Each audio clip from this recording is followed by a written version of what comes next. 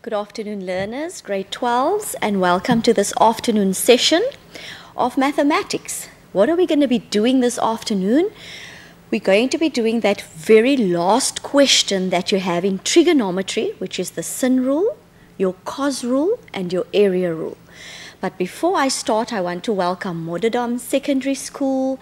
I want to welcome Mount View School, Sininyongo High School, and then Aloe Secondary School. Welcome to this afternoon session.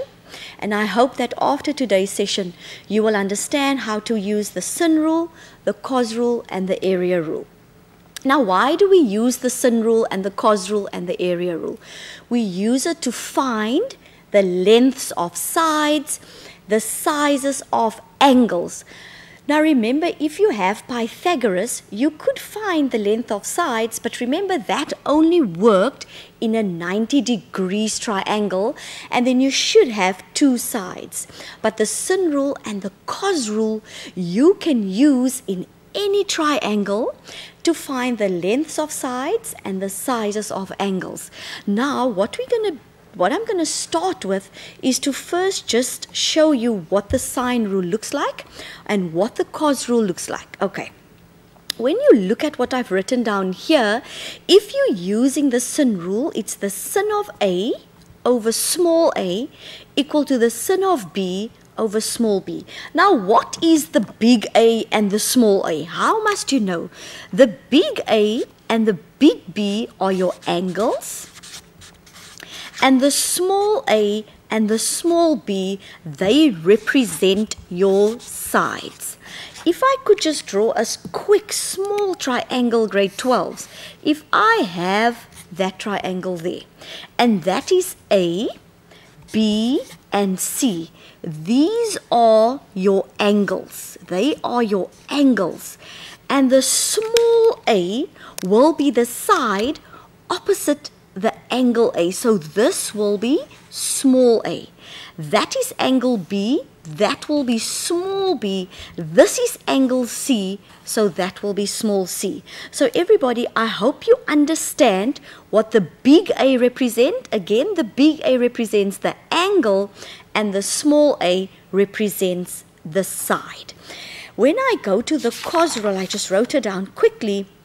The cos rule again says a squared equal to b squared plus c squared minus 2bc cos. Look at this everybody. If you start with small a, your angle is going to be big A.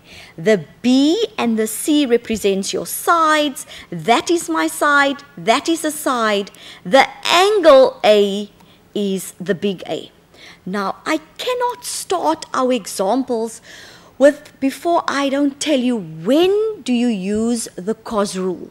When do I use the sine rule? And only after that we're going to go to our examples in our books and then we're going, going to understand it slightly better. Now I at my school I teach my students only know when to use the cos rule. And then if it's not the cos rule, then you know that you must use the sine rule. Now grade 12s, listen very carefully. The cos rule is used Listen, and I want you to write this down with me. I didn't want to put it on a PowerPoint because I want you to write it down with me. The cos rule is used, number one, when you are given three sides. When you have three sides. When they give you the values of the three sides, write it down with me. When you have three sides. And number two, when you have two sides and an included angle. Two sides and an included angle. I want you to write this down. Okay, so when can I use the cos rule? When I have three sides, they've given you the length of three sides, then you must go find an angle or when you have two sides and an included angle. Now, many of you this afternoon is most probably thinking, what is an included angle? Look at my sketch. There's my triangle. If I have three there and I have four there, and you are given this angle. Say, for instance, they say this is 62 degrees. This is an included angle because it is in between the two sides that they gave you. This angle won't be included because you have your 3, you have your 4, and that angle is in between the two sides given.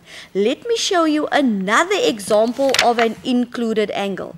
If I sketch this triangle for you quickly, green is my favorite color, and I give you 4 and I give you this side which is 5.